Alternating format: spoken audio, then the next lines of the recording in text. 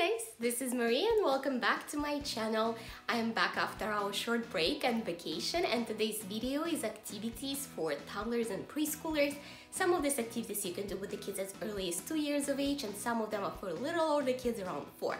They will help develop your child's handwriting skills, pinch grip, also some Montessori based activities and some fun things that you can do with your toddlers.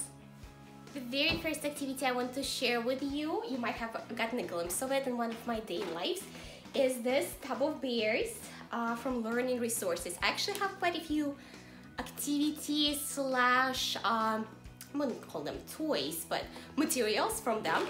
So what this is, it has all the colors, main colors, and three sizes of the bears, they're different weight.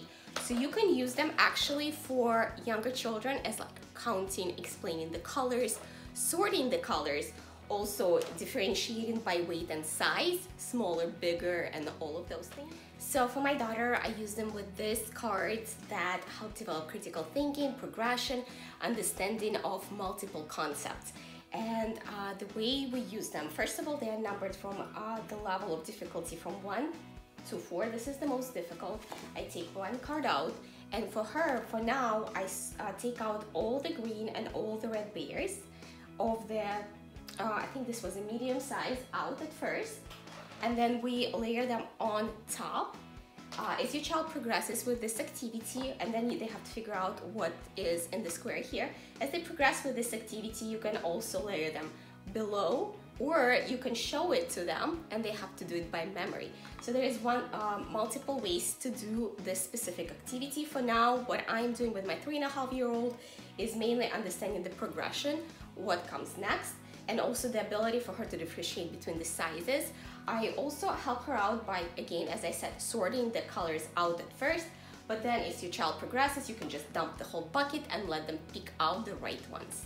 I shared this book with you guys in my what I pack in my kids carry-on video. I'll link it on the screen for you if you um, want to check it out. But this is an amazing book. We've used it on a trip and now I can tell you that this is absolutely awesome. Um, so it comes with a marker. You see we're like wipe the pages, they're not very clean, but it goes through multiple ways for your child to use the pen so it strengthens the pen control. And actually my daughter surprised me. Yeah, that was her art, but she had done all those. She surprised me quite a bit on how well she can do those. It, you have to trace the shapes, you have to trace uh, multiple objects, and it also helps you learn how to do them. Tracing, actually, in even in Montessori, is one of the first steps for you to actually being able to reproduce it. First it's tracing, then it's copying, and then it's independently doing it. So see, this is a great book. Like we totally loved it. It actually, this whole series come with several other books I'll show you here, which I'm gonna be adding to our collection. has numbers for tracing, lowercase letters, uppercase uh, letters, and this workbook with a pen What you see guys, I have a whole playlist of activities for children, including STEM, all kinds of science experiments for younger kids. I also have Montessori activities and it all is gonna be linked up on the screen here. And if you love what you see, make sure to subscribe to my channel, give this video a thumbs up and keep watching. So this next activity is actually uh, something I saw on Pinterest and it is uh, a little bit more of a Montessori based activity. What I used for it is the set of beads I picked up in Hobby Lobby. I took the little tiny ones that I used to as a child to make bracelets. Scarlett picked out the colors so it was more fun for her and I use the back of a canvas. You can e either use the back of a canvas or you can use um, something wooden because the beads need to have a little bit of friction and then you can have fun with it. You can either draw and you can make it a little bit more educational by making uh, your child uh, repeat the letters, the shapes, or you know, let them show their skills in there. So we did some letters, we did some uh, shapes again, and it was really, really fun. The only thing, if you prep this activity, make sure you keep it in that same canvas because it's kind of hard to take it out and it can be messy, so it's not for younger children for sure. It's for like kids three, three and a half, four years of age. My kids love Play-Doh, both of them do. So it's a, a great tool. I actually don't use Play-Doh itself, I use Eco-Dough, but I came across this really cool activity set from Play-Doh. And this can just give you an idea, maybe you print out something, you don't need to buy the Play-Doh sheets. I can try to find them and link them below because this actually was a gift for us in Russia when we're traveling.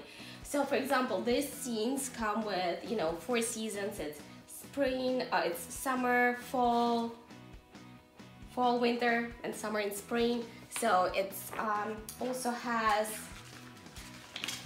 like constellations, planets, rockets, numbers.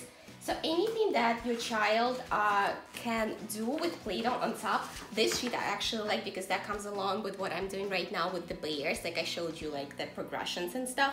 So like here we would be doing, um, you know, like yellow square would go in here, orange circle will go in here. So this is a, a great uh, tool for you to be able to use Play-Doh because all kids love Play-Doh in a more educational and fun. So this last one uh, I picked up also at Hobby Lobby. I actually love Hobby Lobby hobby section. They have all kinds of science experiments, funky things that you can do, even for gifts. It, they're absolutely great.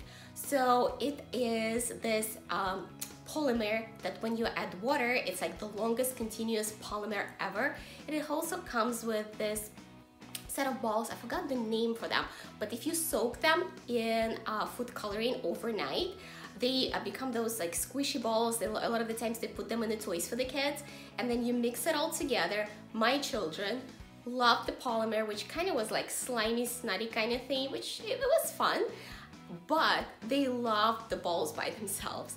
So I would say you can also make them different colors, you know, uh, whatever food colorings you have, you can mix them. Take it from where you want take it. Uh, with younger children, watch for them. My son, who's almost two, doesn't really put anything in his mouth anymore, but you always have to watch out with younger children. It was really, really fun. I hope you guys enjoyed this video. I uh, am actually utilizing my Instagram stories much more and will be sharing with you day to day if I'm doing something as activities or um, something else over there as well. I've started using during our trip when I was not able to film like a complete video for you. So if you want to check out more videos from our trip, it's on my Instagram stories and like highlighted piece.